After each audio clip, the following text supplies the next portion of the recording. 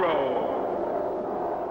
research explorer in time and space.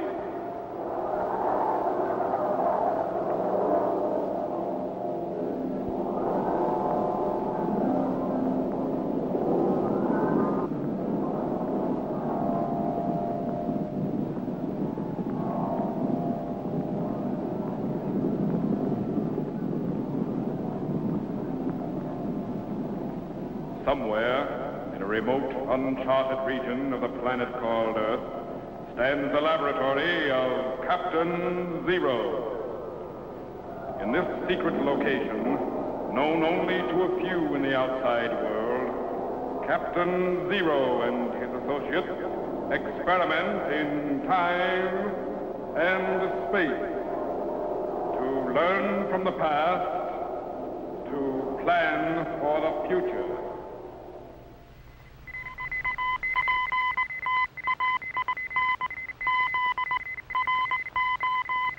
Contact has been established. We now transmit you direct to the laboratory of Captain Z-Ro. Please stand by.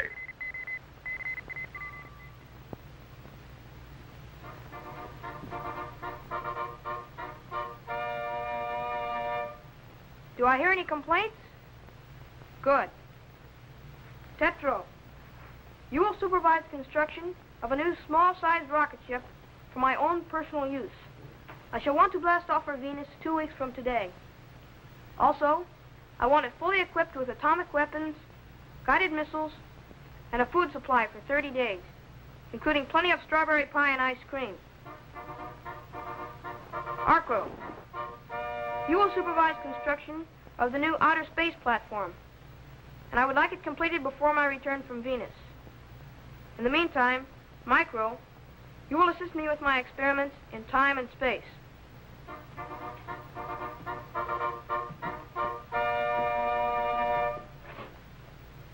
Oh, and R1. You will attend to my personal comforts here in the laboratory and provide me with whatever I may require. Incidentally, I shall want to use the Z5 tomorrow. I'm making a short trip to Palm Springs in the United States for a few days. I need the rest, you know. What in the world's going on? Oh, hi, hi, Captain. I'm just practicing for my new role in life. Your what? My new role in life. Oh? Yes. I've discovered I have royal blood in my veins. Is that any different than the ordinary kind? Certainly. I'm related to kings. Oh. Yes. I sent away for my genealogy. One of my ancestors was 12th cousin to King Alfred the Great. Twelfth cousin? Isn't that a little far removed? Oh, I don't know. It isn't like not being related at all. Are you sure this is accurate? Well, sure it is. Look, there's the coat of arms and everything. Besides, I've always known I was a lost prince or something. You sound a little lost, all right. I'm sorry, Captain, but I'm afraid I'll have to give up all this sort of thing. Oh, what sort of thing? Oh, research and experimenting.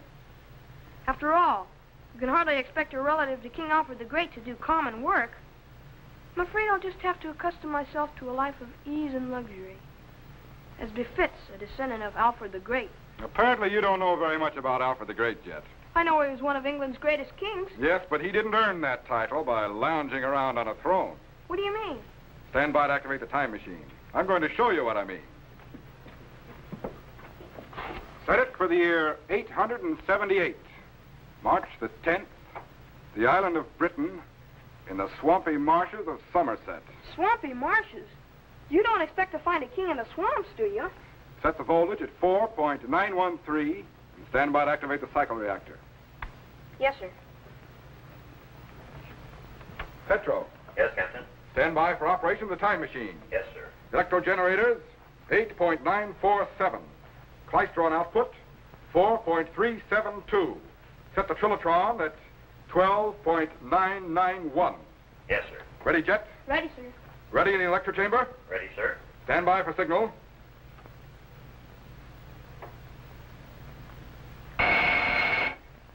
Activate the cycle reactor. Good. We're cracking the fourth dimension. and projecting back into time. 1900, 18, 17, 16, 15. Increased triad resistance, 1.4. Bring up the field output. Steady. We're going back. 1400, 13, 12. Check microphase. 0.75 MV. Increase to 0.95. Hold it. Watch resistance gauge. Steady. 900, 890, 80. Stand by. 878. Cut the cycle reactor, and lock it. Level the power central. Yes, sir. Now set the sound wave segregator and patch it into the time machine audio. Yes, sir.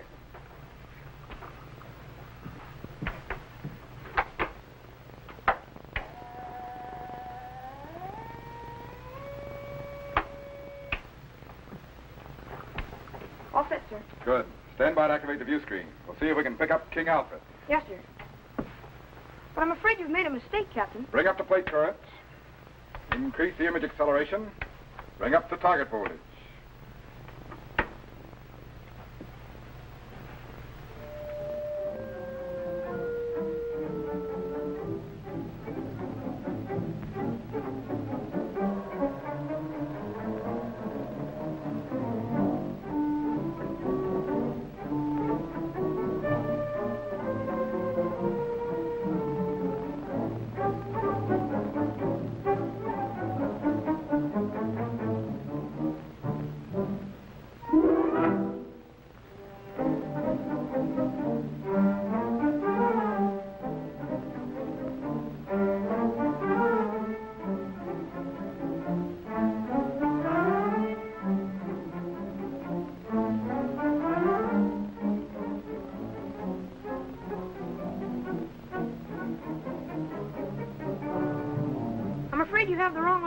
Captain.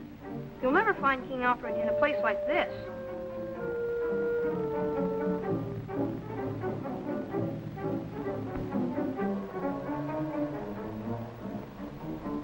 Wait a minute.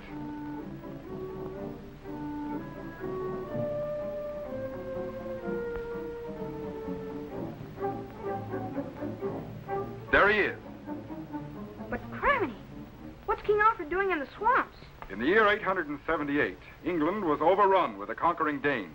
Alfred could have gone to Rome, as other kings had done, and live a life of ease, but he preferred to retreat to the swamps until he could find a way to save his people.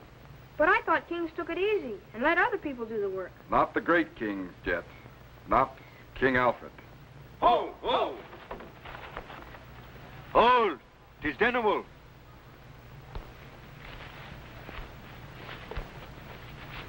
Now rise, Denewulf. Guard, mead.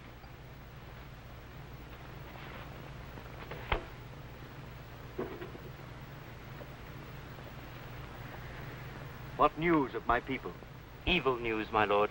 The Danes are everywhere. They cover England as a pestilence, killing and plundering as they go. All Saxon resistance has been swept away. You alone are England's last hope of survival. My people. My poor, poor people. What can I do to help them? My army is but a handful against the Danish hordes. And even now they seek you out to put an end to all chance of resistance. We are safe enough here for the time. The Danes cannot attack us in these bogs and marshes. Besides, as yet, they know not even where we are. But I fear the time will come, my lord, when they will discover us. By then, we must have found the means to drive them back whence they came. Aye. I would that we have the time to find the means.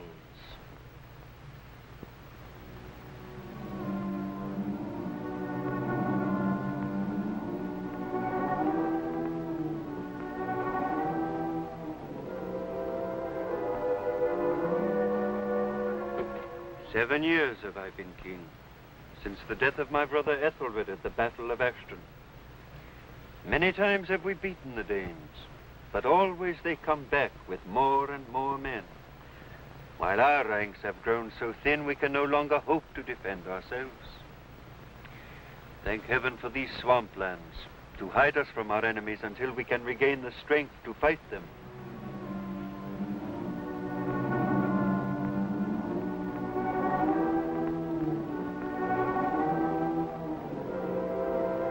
Aye.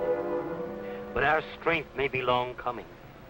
Many of our people have given up hope. They have lost the desire to resist, and their hopelessness is spreading. The king does save himself, they say. He does not care what becomes of us. Aye. That is the most bitter blow. But who can blame them? Over and over their crops have been burned, their churches pillaged and destroyed, their homes leveled to the ground, and they themselves robbed and persecuted. Who can blame them for losing faith in a king who is powerless to save them? Mayhap 'twould be best if I left these shores. Mayhap in time the Danes and Saxons would come to live together in peace. Peace? Aye, a peace that would make slaves of all Saxons. Better to fight now and die in battle than such a peace. No. The time will surely come when we shall be strong again. Until then, we can but wait. Wait. Aye. But even our waiting could be cut short should the Danish heathens find our camp.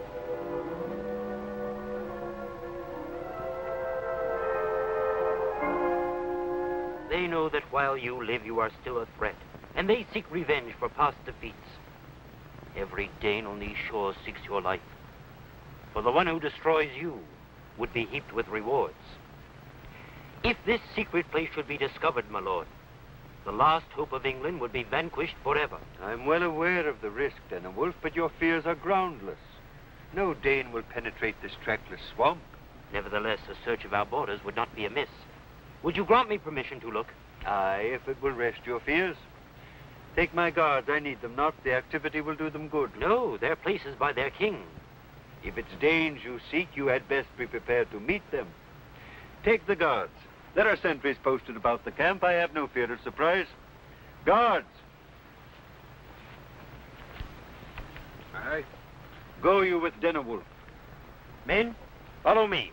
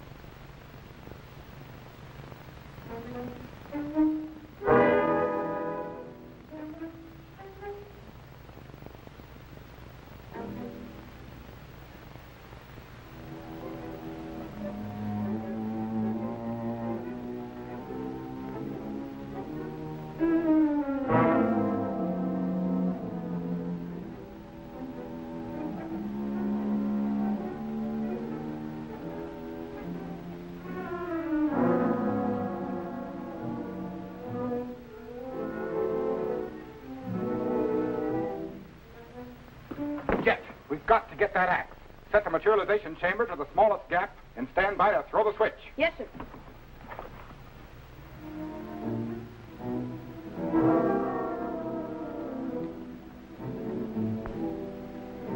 All right, Jet. Now!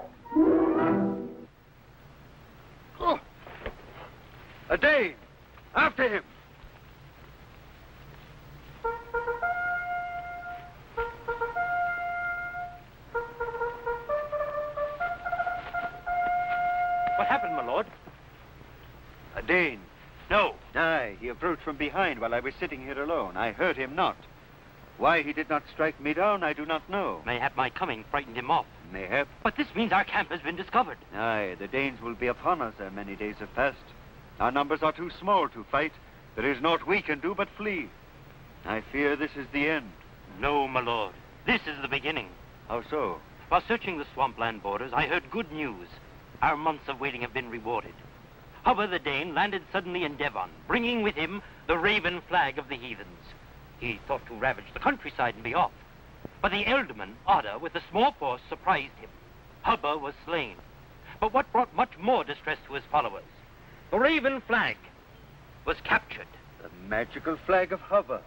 And the raven that gleefully spread its wings when the Danes were to win the day. Aye, the superstitious Danes were sore dismayed to lose it. My lord, the time is ripe. Your followers believe that if you would but name the place, a great army would assemble to fight under your standard. When they see their king alive after such tribulations, they'll receive him as he merits with joy and acclamation. Mayhap you are right, Denewulf. Mayhap you are right. Aye, send forth the arrow and the sword. The enemy is upon us. Let every man who sees its message leave his house and come to Egbert Stone. We rally at once to England's aid. Welcome from exile, your majesty. Hooray!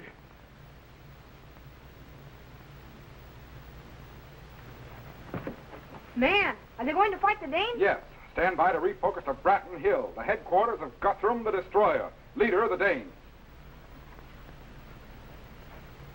Yeah.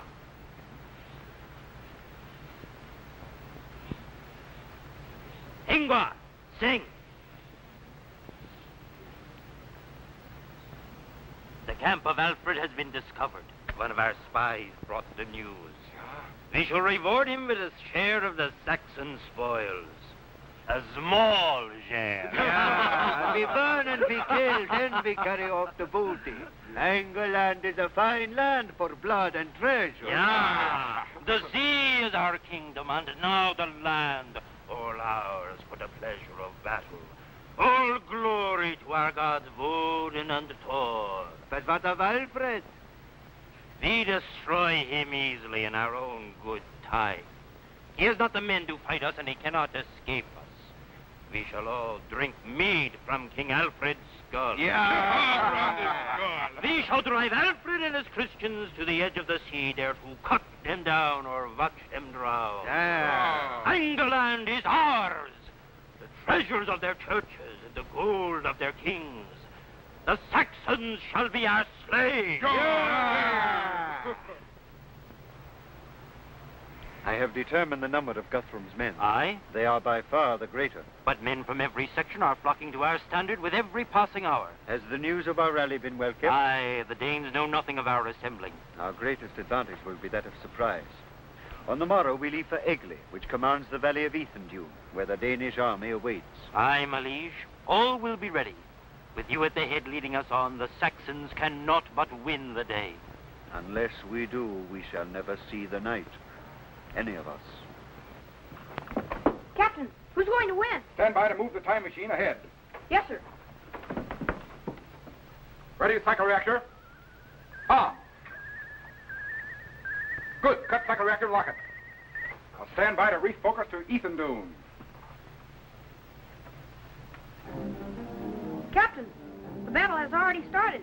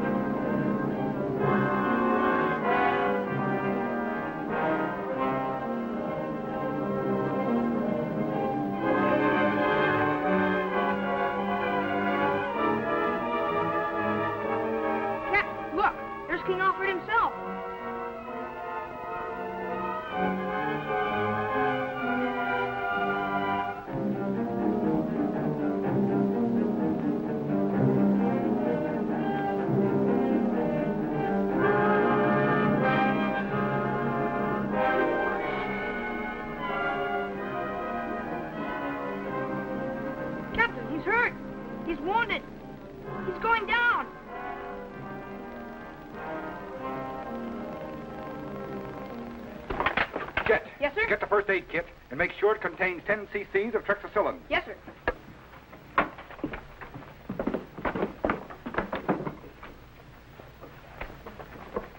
Here you go, Captain. Good. Now stand by to activate the materialization chamber. Hurry.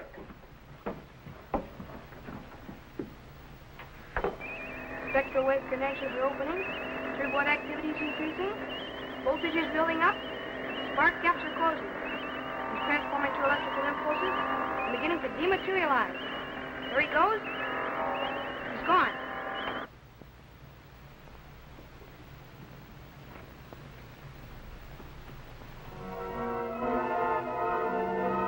There he is. Alfred. Alfred, King. Alfred.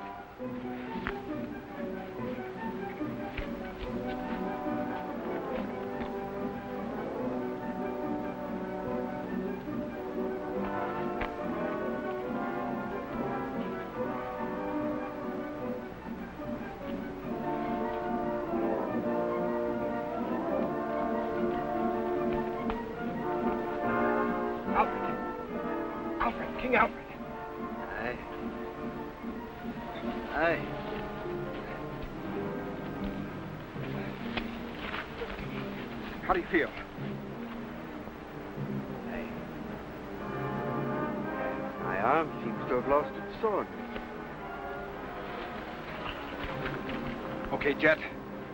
Take me back. Aye, my arm is whole again. Strange. I could have sworn someone was here.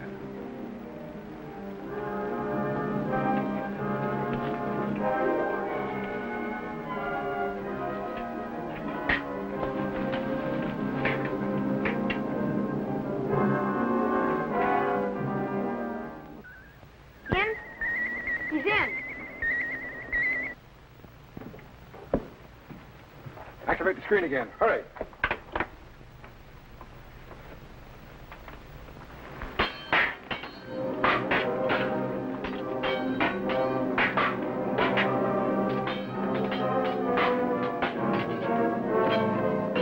Where's King Alfred? I no longer can see him. Without his leadership, I fear we are lost.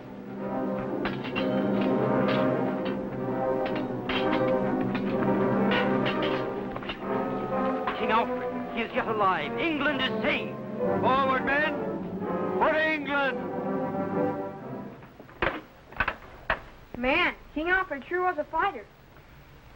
Yes, but it wasn't just his fighting that made him great, Jet, but his character, his sense of responsibility to his people. At the age of 22, Alfred became king of a devastated country, a country overrun by savage pirates and rapidly sinking into the depths of barbarianism. From this, he built a nation. Alfred not only drove out the Danes, Jet, but he established just laws and built schools and churches and translated books.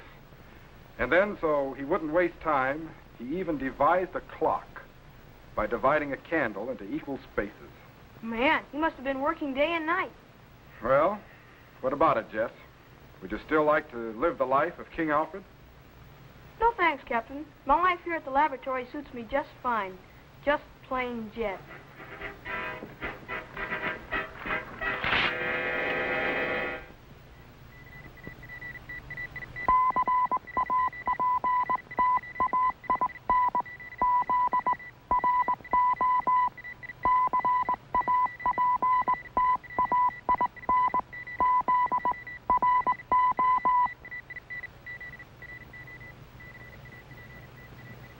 Hi, boys and girls.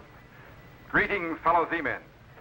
I want to tell you how you can become a commissioned officer of the Z-Ro Explorers in time and space and receive an official space passport and identification card. This passport entitles you to travel in accredited spaceships to any planet in our solar system. It also contains my official signature and photograph, as well as regulations for space travel and procedure for rocket ship blastoff. Just send your name and address to me, Captain Z-Ro, in care of this station. Your letter will be forwarded to my laboratory by guided missile, and I will immediately send you your official space passport and identification card. So, till we meet again, fellow Z-men, good luck in time and space. Be sure to be standing by when we again transmit you to this remote location on the planet Earth, where Captain Z-Ro and his associates will conduct another experiment in time and space.